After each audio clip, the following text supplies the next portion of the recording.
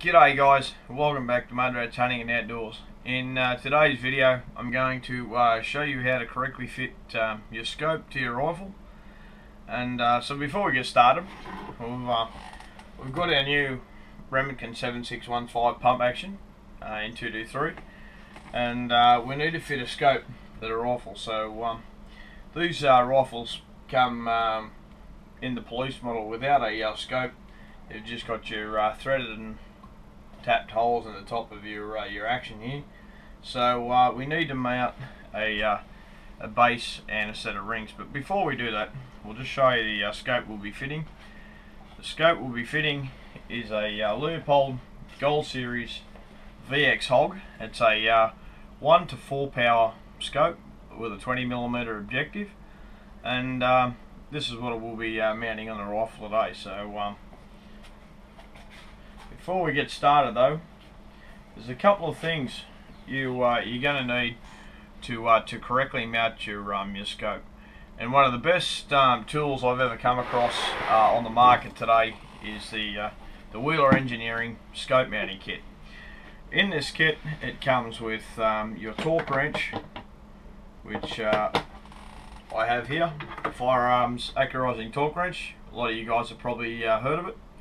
Uh, for those of you who haven't, um, I'd suggest you um, Google it and uh, and have a bit of a look. They uh, they really are a great tool. The other thing you have in the kit is you have a set of scope aligning tools as well. This will help you align your um, your optic and make sure that it's nice and square on uh, your rings are nice and square on your rail. And that's one of the most key things uh, is is to make sure that those rings are perfectly in line and uh, we're using a um, Picatinny style rail and uh, a set of Warne rings. And with these style rings although I would normally prefer the uh, the top half style uh, style of ring uh, these are quite good if they're set up correctly. Some guys over tighten them and, and uh, really put some pressure on the torque tube and, and can really destroy your optic pretty quick if not done correctly fitting these style of rings. And, and that goes for any style of rings but uh, so we'll show you how to properly do that today. The other thing you need is uh, some Loctite, which also comes with the kit. Uh, and the other thing you'll also need is a pair of levels. Uh, really, to to um, correctly mount a scope so it's exactly perfectly in line uh, and level, you really need uh, two levels. One, you need to sit on top of the um, on top of the scope, which once we get to that part, I'll show you and one that will fit in the action to make sure that the, um, the action is level. The other thing that you're going to need before um, you need to um, start on this job, more than anything, is um, you want a nice stable platform in which that you're going to work from. So, um, you know, here we have the Tipton gun vise, which is what I used to do all my gunsmithing with. And, um, you know, you really need something stable, a stable platform to, to start with, guys. So um, to start off with, we're going to uh, to mount the base. Now with these Picatinny style rails, guys, you uh, you want to make sure that um, they don't need any bedding. Sometimes you will get these rails and they will fit very nicely. Other times you will have to bed these rails, um, you know, because there's a little bit of um, flex in them from front to rear. This one is uh, pretty good. This one was was already fitted, and I've double checked this one. I've, I've uh, I had to take the um, the optic off because I just changed my length of pull on the on the stock. So uh, I thought perfect opportunity to uh, to make this video. So anyway, guys, the first thing you want to do is you want to set the rail on top, and you want to get your screws. And the first thing you want to do is um, just fit your rear screws in nice and um, in first just to make sure that um, just just not pull them down tight just uh, just loosely pull them down. And just make sure that there's no play in the uh, in, in, the front of the um, the mount when you do. So we just want to take them down. And you don't want any as you can see there, that's, that uh, that rail is fitting nicely. Now, if that rail was to be moving, flexing up and down, once fitted it'll just nip them down a little, a little more, just pull a bit. If that was uh, to be moving up and down, or you could hear it, you know, you could tap it and, and you could hear it, um, you know, sort of flexing, then you'd you'd want to head to uh, to go ahead then and uh, embed that rail, which uh, embedding that rail uh, would uh, entail taking the right the uh, the rail off and getting some sort of bedding compound, whether it be you know whether you use JB Weld or whether you use you know some sort of quick steel or something like that, and um, embedding that rail. next time I have a rail that um, that I had that issue with, I'll, I'll do a video on, on how to do that procedure. So okay, so we know the rail fits nice and snug. So the next thing we want to do is we want to um, put your rail back on again. Just remove the screws. And make sure guys, when you, um, it's not absolute total crucial, but um, it's a good idea to turn around and make sure that, you know, if you put uh, your front screws in and a set of rear screws, some um, some actions like the uh, Remington 700 action and others uh, will have slightly longer screws uh, for the base than others, uh, and you know depending on um, on the base and the the, uh, the action is, is which direction those screws will go. These are all just the one side sized um, uh, screws. So what we want to do is I tend to turn around and if, if I remove them, the rear two and the front two, I tend to turn and keep them separate from the other it's just uh, one of those little uh, things that uh, that I tend to do just as a forcible habit. So, um, anyway, guys, first thing you want to do now is you want to take your Loctite and you want to just drizzle a little bit of Loctite on those screws. Okay, I only need the, the slightest amount, and then you want to take the screw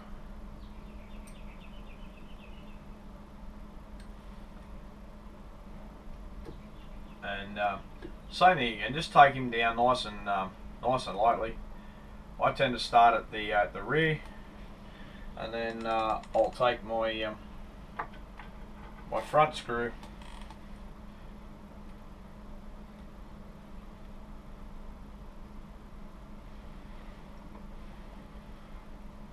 Again, a little bit of Loctite.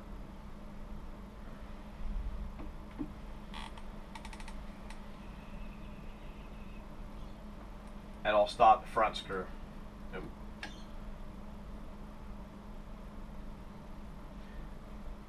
Okay. Now we can just um, go back to the rear, fit the uh, second screw in the rear.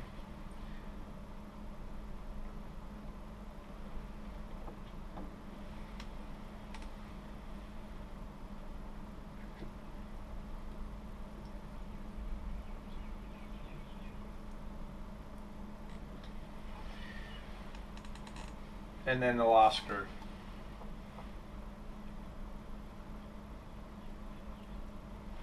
Again, just a little dab of Loctite just to make sure they um, they don't work themselves loose. A little bit too much on that one.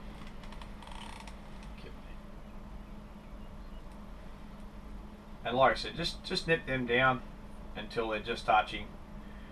Then what we want to do, guys, for most um, base screws, you want to go around about 30 inch pounds, 25 to 30 inch pounds at the most. So we're just going to set our, I'll just move the camera in a bit closer so we can see.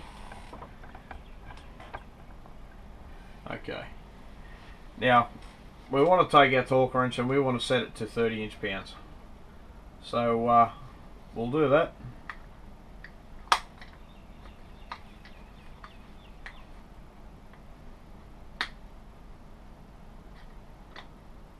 Okay, so now we're set to 30 inch pounds. We can go ahead again starting from the rear, the rear screw, and we can tighten that down now until we get the click. Once that uh, you get the click, you can then go to the to the uh, to the front screw then. Again, and just tighten that down until it clicks. And you can go to the one behind it. Again, and then again on the last one. Okay, so now that you've got the um, the rail fitted to the um, to the rifle, we can uh, then go ahead and uh, and fit the rings. Uh, and what we want to do here, these these rings come with a little spacer that fit here, and we'll be um, so we'll just normally sit that in first into place. And then what we want to do guys is we want to fit the rings on and you tend to want to turn and have the uh, the screws all facing you know the same direction.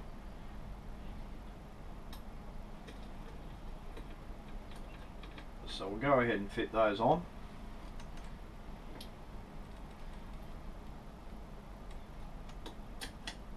Okay, so they're now fitted.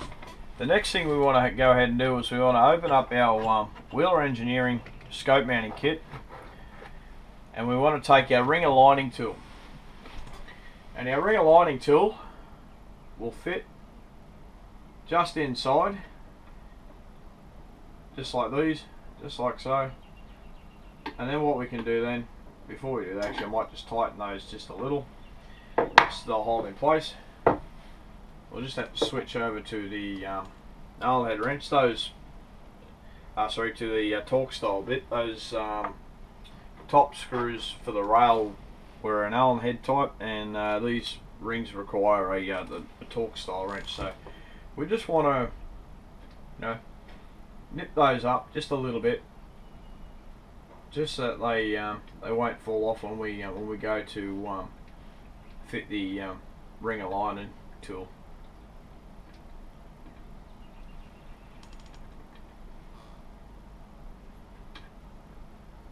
We'll just take that Torx bit out. We'll wind those in by hand. Okay.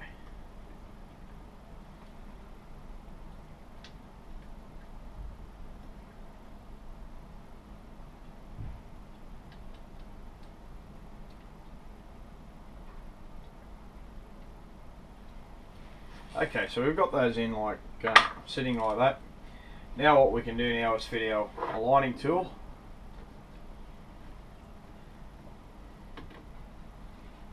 And by having these aligning tools, guys, they um, they will help you um, tell you whether your um, your scope rings are perfectly in line.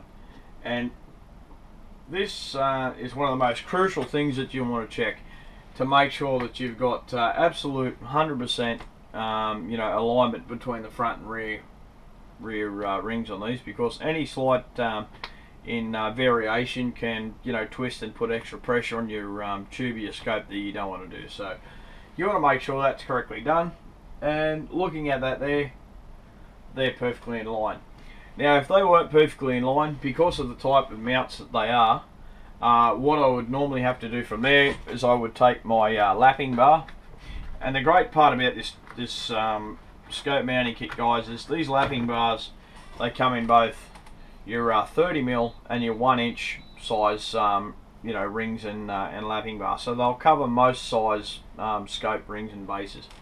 So if we had that inconsistency there and that wasn't exactly perfectly in line as you can see there now what we would do is we would uh, we would take the lapping bar and uh, the lapping bar lapping bar compound and uh, then then we will proceed to uh, to lap the uh, the rings until they were perfectly aligned. Uh, because there's no real way of adjusting the um, the windage or the elevation uh, on these style rings, lapping them is, is crucial. Um, you know where some of the other style rings you can adjust for your windage left and right, and uh, you know then it all comes down to um, how they're leveled elevate, elevation was. You know, then you would lap for uh, for elevation and squareness that way. So uh, okay, so we know that's perfectly fine. So uh, what we can go ahead and do now, guys, is remove that tool. We know they're perfectly perfectly fine.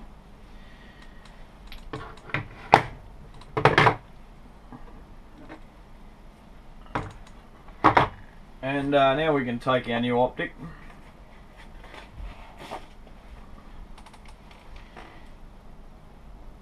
and with these rings they are a bit fiddly. I will have to um, back off the uh, the top screws altogether. Or actually maybe even just easier on these guys to uh, remove the rear.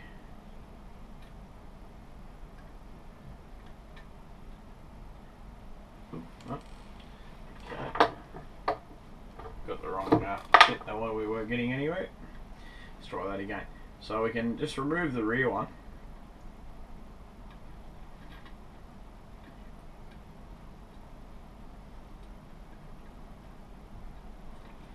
So we'll take that one off. Just remember to take the um, little piece out of the little block at the bottom out. We'll fit that back in there. Okay, so to fit this on we're going to have to try and remove the top screws whatsoever.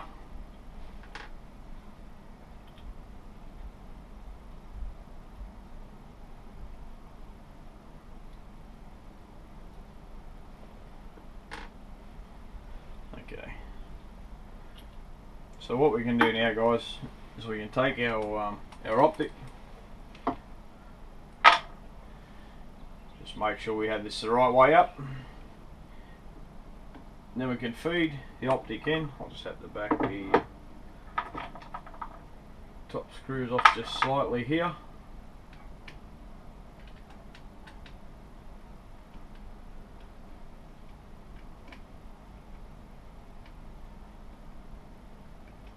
bottom ones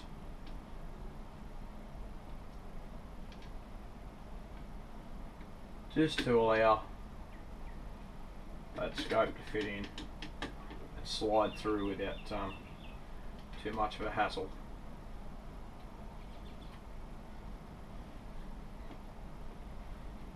Top one, a bit of a pain in the neck.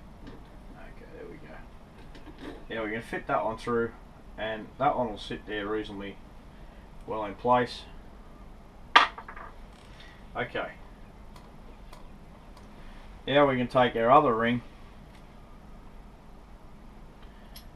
which will pull the screws out completely.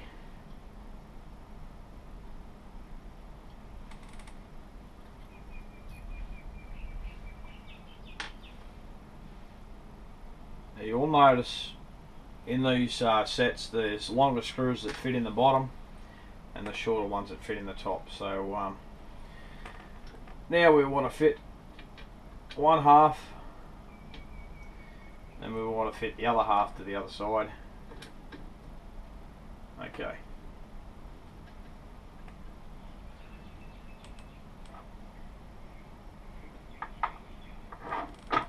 now I'll find the uh, now what we want to do is take our Torx style bit.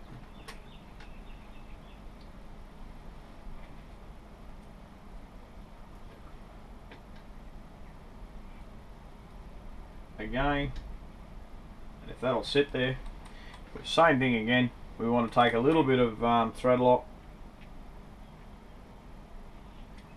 We just want to put a little bit of thread lock on that screw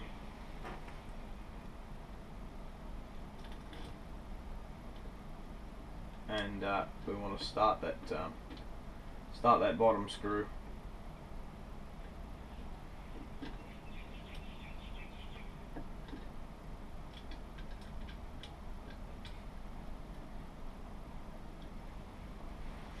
Again take your other bottom screw.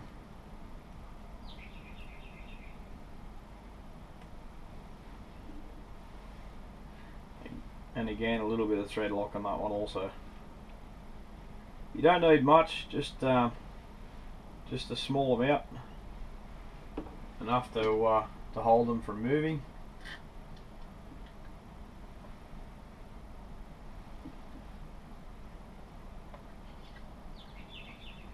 Okay. We can go ahead and fit our top screws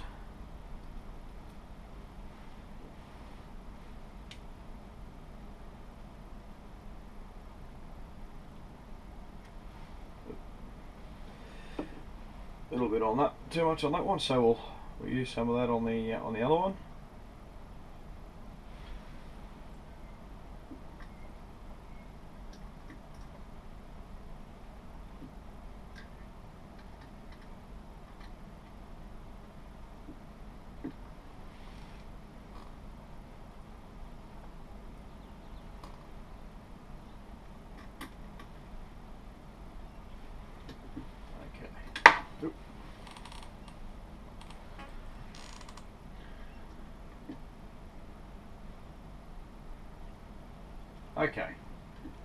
Now we have um, both of those. Just back that off slightly. Now, you want to have it roughly fitted so that you can at least, if you uh, if you need to, slide the uh, the optic backwards and forwards so that you can get your um,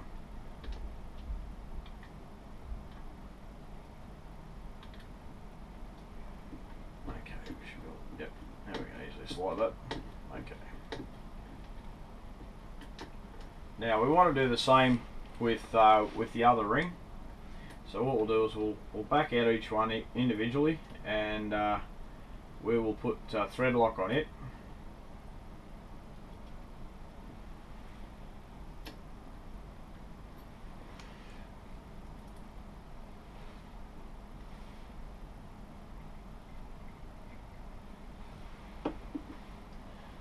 once I've done this guys what we'll do is we'll leave it loose enough so that we can um, we can then go ahead and check our eye relief. And um, I'll explain how I um, how I do that in a moment. So I'll just um, quickly do these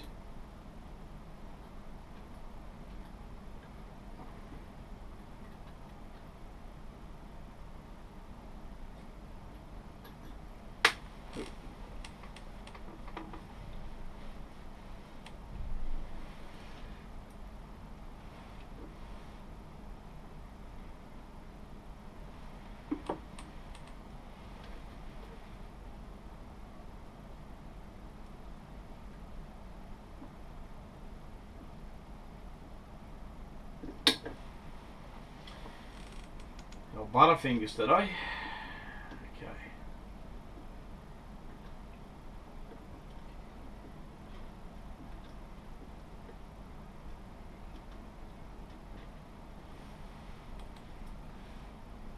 Again, thread lock on the bottom one.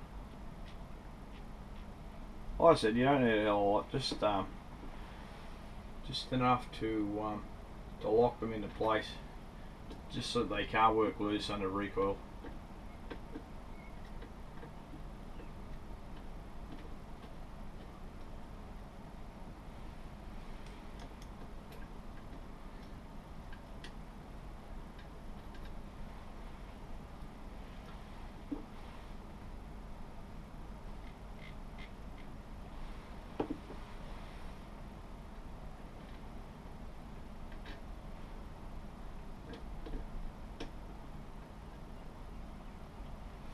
Okay.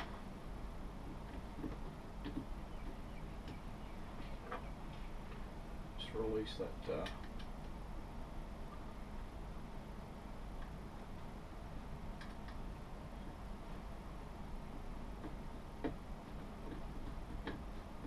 Okay guys, so now we've got that fitted. What we want to do now is we want to be able to uh, check our, um, our, our eye relief now the easiest way to check the eye relief uh, on your rifle is to bring it to the shoulder as to where it's comfortable. Get a nice cheek weld, close your eyes, and then when you open your eyes you should have an exact sight picture. So close them and open your eyes again and you should have a perfect sight picture. Now that's just um, a little out for me so I'll readjust that to um, to where that needs to be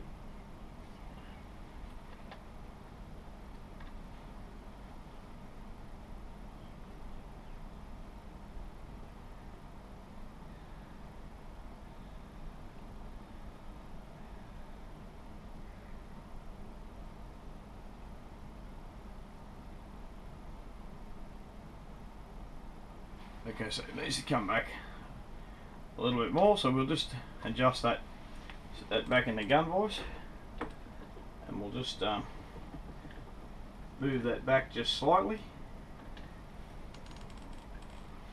And then we'll take another look again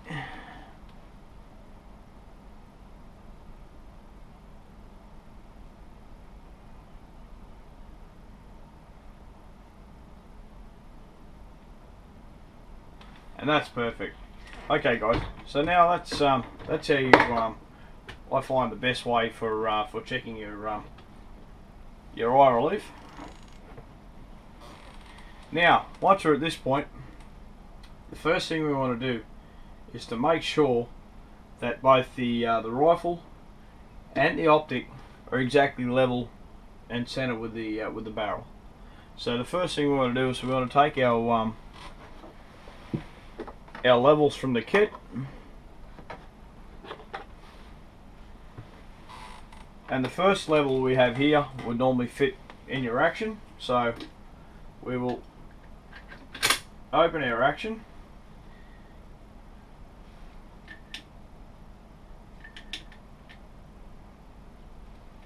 And there we go. Okay so now we've got um, now we've got our level in our action we can now